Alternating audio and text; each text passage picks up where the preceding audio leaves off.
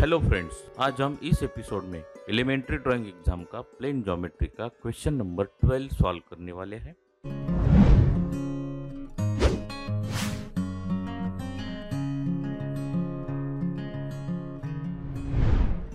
आज का यह क्वेश्चन इंग्लिश और हिंदी लैंग्वेज में एक्सप्लेन होगा। आपको ड्राइंग एग्ज़ाम गाइड इस चैनल को सब्सक्राइब करना है, पास वाले बेल आइकन को ऑल क्लिक करना है। वीडियो समझ में आया और अच्छा लगे तो लाइक और शेयर भी करना है। प्लेन ज्योमेट्री का क्वेश्चन सॉल्व करने के लिए आपके पास राउंडर, इसे कंपास भी बोलते हैं, स्केल और पेंसिल, इन ज्योमेट्रिकल इंस्ट्रूमेंट की आवश्यकता है। आज हम इंग्लिश, हिंदी और मराठी लैंग्वेज में क्वेश्चन पढ़ेंगे। आपको स्क्रीन पर क्वेश्चन दिखाई दे रहा है। उसका अच्छी तरह से ऑब्जर्वेशन करना है और उसे समझ लेना है। English question, section third, construction of squares, example number twelve, to construct a square on a given base. Question construct a square with side four centimetre long Hindi प्रश्न विभाग तीसरा, चतुर्भुज रचना.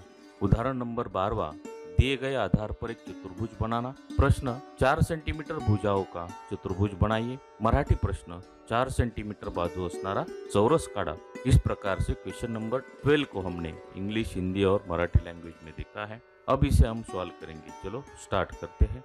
क्वेश्चन में दिए गए अनुसार हमें यहाँ चार सेंटीमीटर वाला एक लाइन लेना है, जो क्वेश्चन में हमें चतुर्भुज स्क्वायर का बेस लाइन आधार दिया है। इस प्रकार से एक फोर सेंटीमीटर वाला लाइन लेना है, उसे नाम देना है A B four centimetre long और उसके बाद इस लाइन को, हमें लेफ़्ट साइड को थोड़ा लंबा बनाना है, थोड़ा ज़्यादा बाहर खींचना है इस प्रकार से। एलिमेंट्री ड्राइंग एग्ज़ाम का जो ज्योमेट्री का क्वेश्चन है क्वेश्चन नंबर फोर वहाँ पर मैंने परपेंडिकुलर कैसे निकालना है, वो सिखाया है। यहाँ पर भी हमें ए पॉइंट पर परपेंडिकुलर निकालना है। उस क्वेश्चन को समझकर आपको यहाँ जो परपेंडिकुलर निकालना है, उसमें आसानी होगी। तो यहाँ पर जो परपेंडिकुलर हम निकाल रहे हैं, वो हम कंपास राउंडर की मदद से निकालेंगे। ये पॉइंट पर हमें जो 90 डिग्री का एंगल बनाना है, वो हमें कंपास राउंडर की मदद से बनाना है।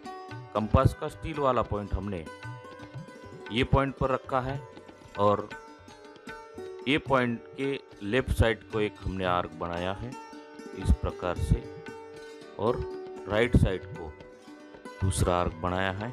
इस प्रकार से दोनों आर्क ए बी लाइन को यहाँ पर क्रॉस गए हैं। वहाँ पर हमें पॉइंट लेना है।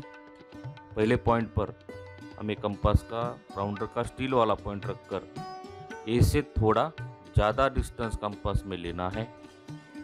ये डिस्टेंस हमें अप्रोक्सीमेटली लेना है और ए बी लाइन के ऊपर वाले हिस्से पर हमें एक आर्क बनाना है। उसी डिस्टेंस से दूसरे वाले पॉइंट पर कंपास का स्टील वाला पॉइंट रखकर हमें आर्क बनाना है डिस्टेंस वही रखना है। इस प्रकार से दोनों आर्क एक दूसरे को क्रॉस कर गए हैं। वहाँ पर पॉइंट मिला है, उस पॉइंट को डार्क करना है और मिले हुए पॉइंट को और ये पॉइंट को लाइन से जोड़ना है। इस प्रकार से इस लाइन को यहाँ पर हमने नाम दिया है। यम यम ए, ये हमारा ए बी लाइन पर परपेंडिकुलर हो गया। यहाँ पर 90 डिग्री का एंगल हमें मिल गया। अब हमें ए पर कंपास का स्टील वाला पॉइंट रखकर कंपास में राउंडर में ए बी इतना डिस्टेंस लेना है और ए बी लाइन के ऊपर इस प्रकार से हमें आर्क बनाना है। इस आर्क ने एम लाइन को यहाँ पर क्रॉस किया है। यहाँ पॉइंट मिला है। इस पॉइंट को नाम देना है डी अब हमें डी पॉइंट से एक आर्क बनाना है। कंपास में डिस्टेंस कितना है हमारे? कंपास में डिस्टेंस है ए बी इतना, यानी फोर सेंटीमीटर अब कंपास का स्टील वाला पॉइंट राउंडर का स्टील वाला पॉइंट डी पॉइंट पर रखकर हमें राइट साइड को एक वर्टिकल आर्क बनाना है। इस प्रकार से और उसी डिस्टेंस से बी पॉइंट से उस आर्क पर एक ओरिजेंटल आर्क बनाना है। इस प्रकार से दोनों आर्क एक दूसरे को क्रॉस कर गए हैं। वहाँ पर पॉइंट मिला है, उसे नाम देना है सी अब हमें सी डी पॉइंट को लाइन से जोड़ना है। इस प्रकार से अब सी बी लाइन को भी लाइन से हम जोड़ेंगे।